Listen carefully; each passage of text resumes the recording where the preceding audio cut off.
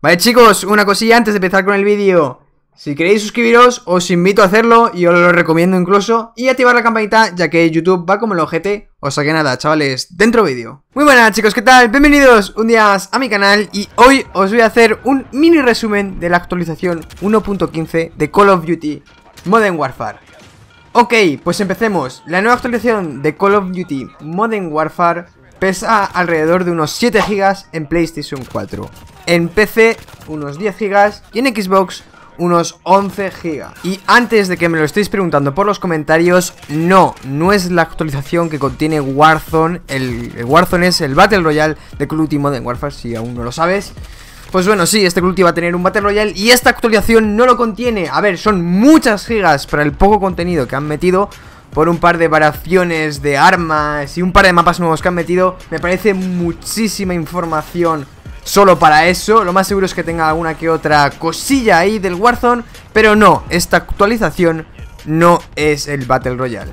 Vale gente, pues han metido el nuevo mapa Bazar, que como hemos visto antes en el póster de publicidad de la Season 2 de Call of Duty Modern Warfare. También han metido guerra terrestre sin tanques, tiroteo 3 vs 3 solo y exclusivamente a Sniper, Seedman, Shothouse y Rust en el mismo pack 24-7. Y también han metido infectado en guerra terrestre. Y luego por si a alguien le interesa, pues bueno, a partir del 28 de febrero hasta el 2 de marzo tenemos PX dobles en todo el juego. O sea que ya sabéis, este puentecito que tenemos algunos de 4 días, el viernes fiesta y el lunes también, pues ahora chavales, a viciar como niños para sacarnos el máximo nivel. Vale chicos, pues empezamos con las notas de el parche y empezamos hablando de las armas. Han corregido la Striker 45 con el rango de fijación y velocidad de ADS para que coincida con la descripción del Poly Barrel. Del modelo 680 han aumentado el rango. Del mismo modelo, pero una variación de armas, el modelo XRK 30. Sport Madre mía, menudo nombre, chaval Han aumentado el alcance Han disminuido el rango y el ADS lo han aumentado de las siguientes armas Del modelo 680 XRK 18 de la R9-0 Force Tag Sentry y del Origen 12 Force Tag Precision. Una pregunta, ¿a quién leche se les ocurre estos nombres, tío?